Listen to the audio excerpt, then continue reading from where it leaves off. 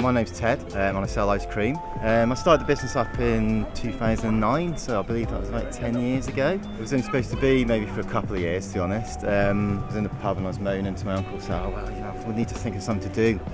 So why don't you get an ice cream bike? So I looked into it and uh, I thought, well, worst case scenario, I can just sell it. It won't be the end of the world. So I got one, went out on my first day to sell some ice cream.